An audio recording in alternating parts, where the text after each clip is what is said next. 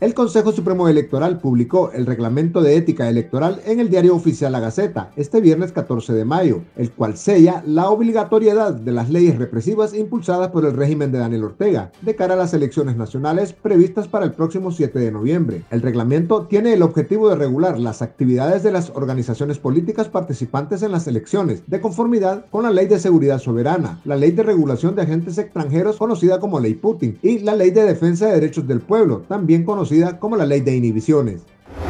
La congresista estadounidense María Elvira Salazar urgió al Congreso de su país aprobar la ley Renacer para ejercer mayor presión al régimen de Daniel Ortega con el fin de garantizar elecciones libres, justas y transparentes el próximo 7 de noviembre e informó que hay intenciones de invitar a algunos aspirantes presidenciales nicaragüenses a una audiencia con el Subcomité de Relaciones Exteriores para las Américas y apoyar a un candidato único opositor. La funcionaria norteamericana señaló que Daniel Ortega y su esposa Rosario Murillo están activamente socavando el proceso electoral y persiguiendo a los candidatos de la oposición para robarse las elecciones en el próximo noviembre.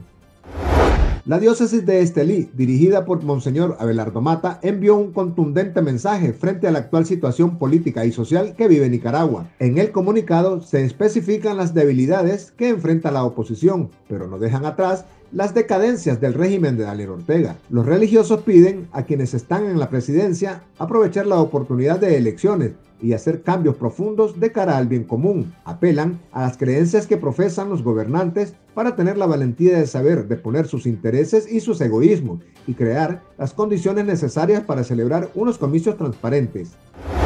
La red de incidencia de la Unión Europea para América Latina, Network, que aglutina a 40 organizaciones europeas de derechos humanos y desarrollo, emitió un comunicado donde muestra su preocupación por el retroceso del Estado de Derecho y el deterioro del orden democrático en algunos países de América Latina y destacan la difícil situación que enfrenta Nicaragua, agudizada desde el estallido social del 2018. El organismo menciona específicamente a Nicaragua por ser un país que arrastra una crisis sociopolítica y de derechos humanos. Asimismo, indicó que un proceso electoral puede permitir la transición hacia la salida de la crisis. Sin embargo, mostró preocupación por las reformas electorales que amenazan con repetir un fraude electoral en noviembre de este año, lo que negaría la posibilidad de una salida pacífica y democrática a la grave crisis que ya vive Nicaragua.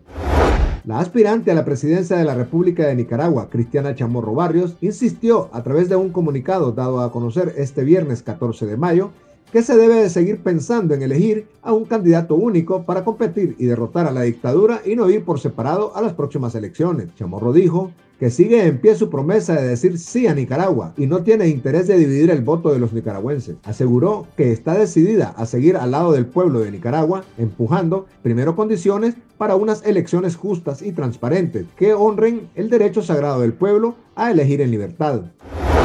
Síganos en nuestras redes sociales e informes en nuestro sitio web www.articulo66.com. Les informó Javier González.